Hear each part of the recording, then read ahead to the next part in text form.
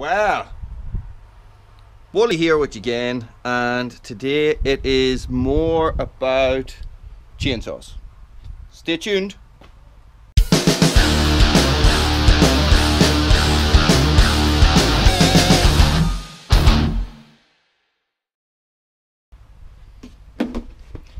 So the guys at Rotatech decided that they liked my sorry Norden Arb. The guys at Northern Arb Supplies decided that they liked my last video so much that they they asked me to review something else for them.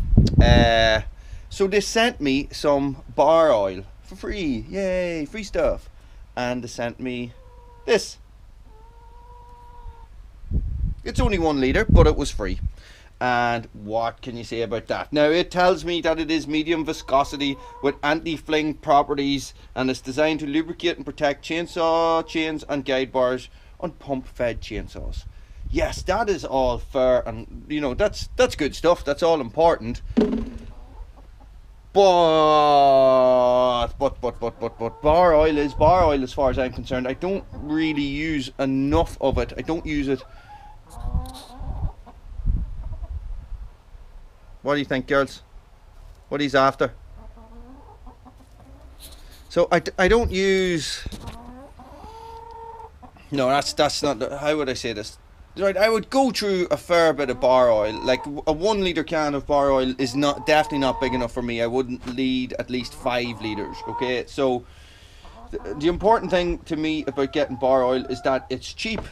You know, so I've I have run this I've run the saw with, with the oil in it and I what would be I can see no difference between it and any of the any of the other bar oil that I've used. Uh, bar maybe a Maxol. Let me see the, the other one I have here that I don't really like. I find it a little bit thick. This stuff here. This stuff, I actually find it a little bit thick. Uh, but it, it says that it does all the same stuff, blah, blah, blah.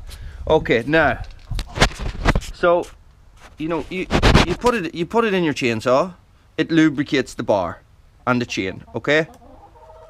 I and it, it did that, which is perfect, that's what you want. The main thing is, is that one litre of this, one litre, costs two ninety nine, two ninety nine, right? Okay, so five litres of it is 9.50. Nine pound fifty pence. That's all. Right? One litre of Husqvarna oil or any other oil that I could come across doing uh, a quick search on eBay was at least 6.85. The cheapest for one litre, okay? And it doubled from there. You know, it got really expensive from there. So you know, let's let's look at the pros and cons. Pros, it's cheap. Pros, it works. Pros, I can't tell the difference between this and any other oil that I've used in my chainsaw. Now, if I was to run it in a top handle saw, there might be a difference, but then I don't use one very often. You know, my friend uses one when we're doing trees and stuff, but let's put it like this. From now on, I'm going to be buying this that's it. And that is Wooly's amazing chainsaw hack number number two. And again, it's it's Rotatech stuff. You know, chainsaw consumables are expensive. Chains are expensive. Uh, bars are expensive.